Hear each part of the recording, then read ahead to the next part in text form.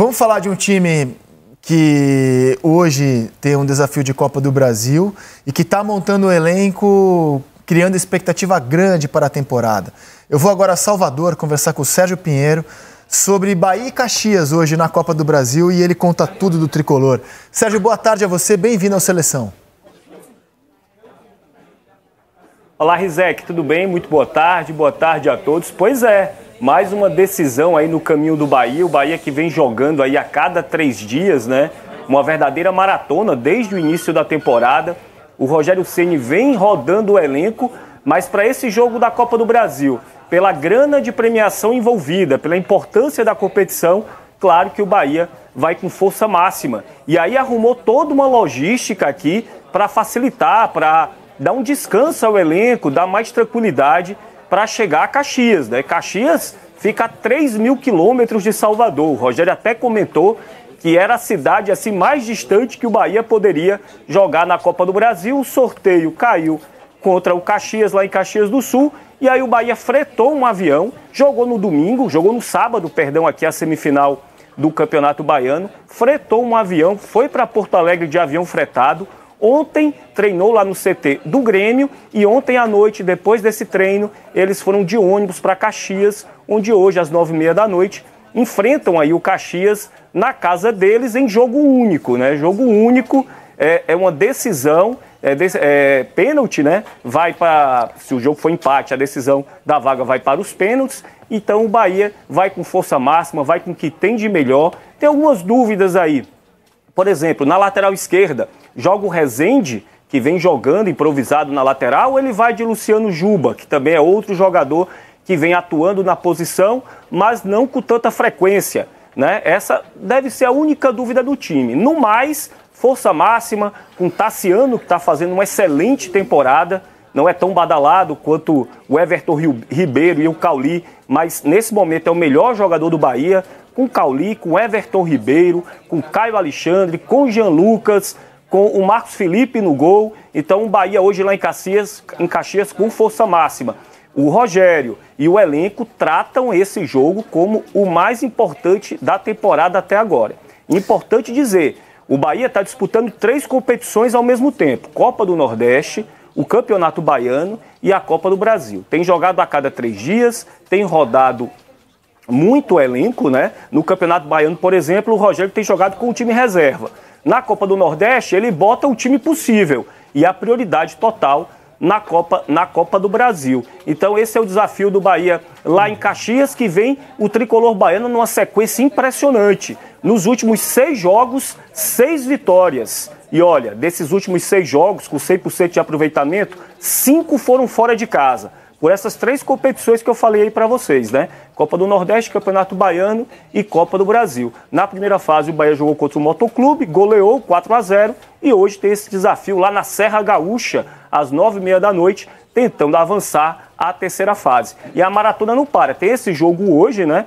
Pela Copa do Brasil. No final de semana, no sábado, tem semifinal do Campeonato Baiano. E na outra quarta-feira, no dia 20, tem o Bavi pela Copa do Nordeste. Então o Rogério realmente tem que rodar o elenco, tem que poupar suas principais peças e o retorno positivo disso, né, é que o Bahia está com o departamento médico praticamente zerado, sem casos de lesão, e eles vão controlando aí a minutagem dos jogadores que têm atuado mais para poder priorizar as competições mais importantes e no momento hoje essa competição é a Copa do Brasil por tudo que envolve, né? Premiação, um título nacional, um título inédito. O Bahia não tem um título da Copa do Brasil e vai lá para Caxias, jogo único, então vai lá para Caxias com o que tem de melhor, Rizek. Sérgio, vou rodar de novo os números. Os números são muito bons, né? Bahia tem 12 vitórias em 16 jogos na temporada. O empate, três derrotas, aproveitamento é alto, 86%. Marcou 36 gols, sofreu 11. Vem de cinco vitórias seguidas como visitante, é, o que não acontecia desde 2016. É, liderou a primeira fase do Baiano, perdeu o Bavi, é verdade, no Barradão, mas liderou a primeira fase, ganhou o primeiro jogo da semifinal, tem a melhor campanha geral na Copa do Nordeste, é o líder do seu grupo. Os, é, dos principais reforços, o Everton Ribeiro já atuou 11 vezes, o Jean Lucas atuou 12, é, marcaram gols, né? o Alexandre também já jogou bastante, 14 partidas. É, o Cuesta já entrou em campo cinco vezes. O Estupinhan jogou três vezes. Os reforços já chegaram, estão jogando. Mas como é que você está vendo o desenvolvimento do time para os desafios mais pesados da temporada? As contratações do Bahia criaram uma grande expectativa. Essa expectativa está sendo atingida no seu entendimento? O, como é que o Bahia está se desenvolvendo para a temporada? E aí a provável escalação para o jogo de hoje na tela. É, até o momento, sim, né, Rizek? Você acabou de falar aí. O Bahia tem a melhor campanha da Copa do Nordeste no geral, né? O Bahia fez a melhor campanha é, da primeira fase do Campeonato Baiano, jogando com um time mesclado, com um time reserva muitas vezes. É, já, já jogou esse final de semana o jogo de ida da semifinal do Campeonato Baiano contra o Jequié, venceu e vai levou a vantagem para o jogo da volta, sábado agora, na Fonte Nova. Na Copa do Brasil, passou por cima do Motoclube 4 a 0 e agora tem esse jogo de hoje contra o Caxias. Então, nas três competições que se apresentam nesse início de temporada, não dá para falar nada do Bahia. O, a única vírgula, un, o único senão aí foi o Bavi, né? O time perdeu o Bavi lá no Barradão por 2 a 1 O Rogério Ceni, como era um jogo pelo Campeonato Baiano, o Rogério Ceni escolheu algumas peças, por exemplo, botou o Adriel no gol, tirou o Marcos Felipe. O Adriel é o goleiro que vem jogando no Campeonato Baiano. Então ele levou isso para o Bavi. A filosofia de poupar alguns jogadores no Campeonato Baiano. Não levou então, em tanta consideração assim o clássico e tudo que envolve o clássico. E aí pagou um preço por isso. O Bahia perdeu o Bavi. Mas depois do Bavi, o Bahia não perdeu mais. É 100% de aproveitamento. E aí fica aquela expectativa toda para o Campeonato Brasileiro. A torcida está é, tá se associando em massa, né? Ou, essa semana o Bahia divulgou o número de associados, que é recorde: 65 mil sócios. 65 mil sócios. O Bahia nunca teve esse número de associados.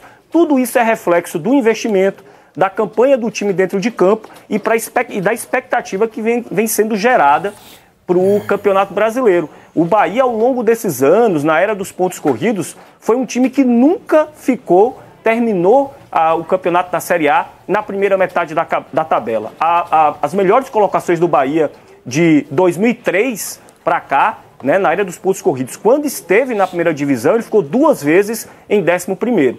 É claro que para essa temporada a expectativa é muito maior. Eles falam, eles não falam isso abertamente, mas a gente sabe que é, quem sabe, uma Libertadores, né? Pelo investimento que foi feito, o Bahia gastou só com o Jean Lucas 23, 24 milhões, é, milhões de, de, de, reais, né? A maior contratação, uma das maiores contratações é, do futebol nordestino, né?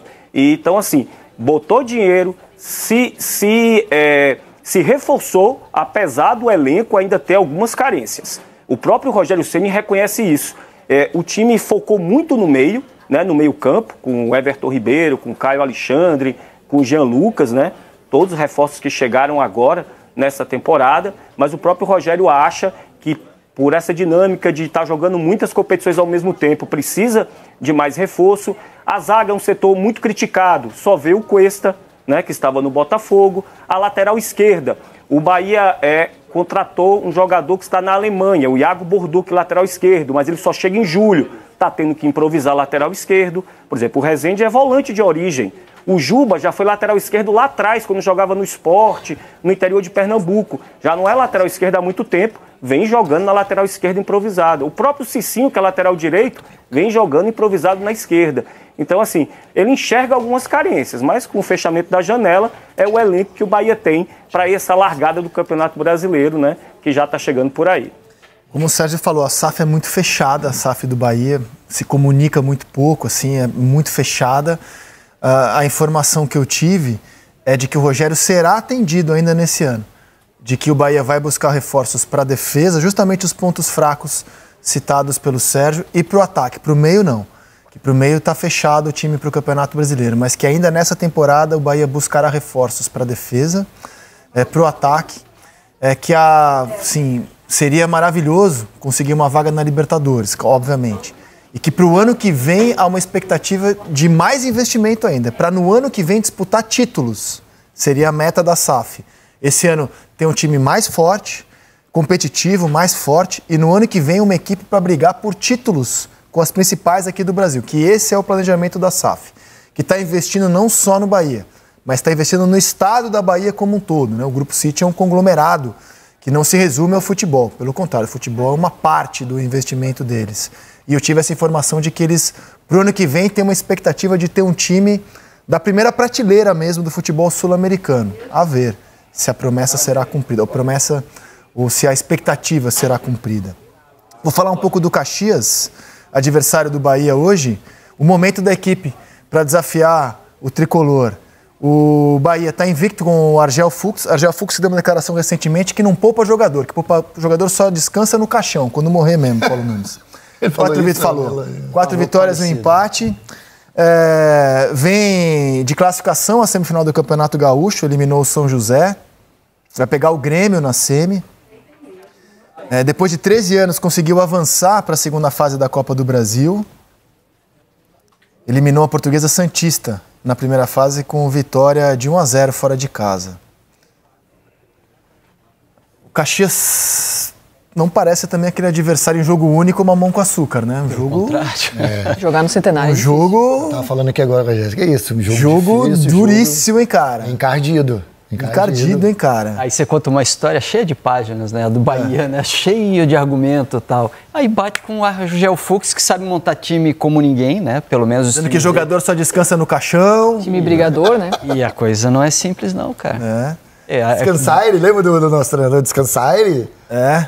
É, do Jesus. Jesus. Jesus. Sai, ele descansa segunda, ele descansa terça. É, Cara, é são de... os riscos de um trabalho como o do Bahia, né? Você faz isso tudo, mas você perde um Bavi. É. Hum, você faz isso tudo, é eliminado de uma eliminado Copa, do, Copa Brasil. do Brasil agora, hum, imagina. É difícil, cara. Futebol é... Tem confrontos é, traiçoeiros nessa fase, cara. O Vasco passou nos pênaltis pelo Água Santa. E olha...